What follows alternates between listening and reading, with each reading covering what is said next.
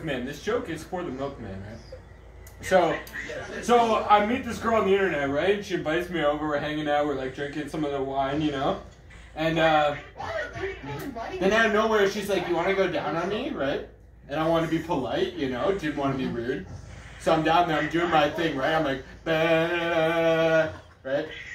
Bah. She seemed to be enjoying it.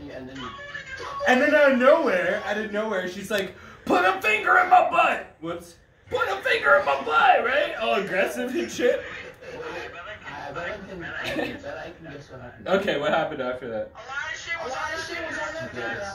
Yeah, so I put my thing, my, my, my finger in the butt. I didn't want to be rude, right? Went back to do my thing. I was like, and then,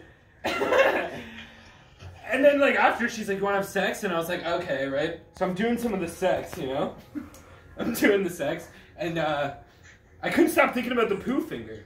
God damn, which one was it? This one. Couldn't stop thinking about the poo finger, right? Like I couldn't see like any poo on the finger, but like microscopically, I think it was there.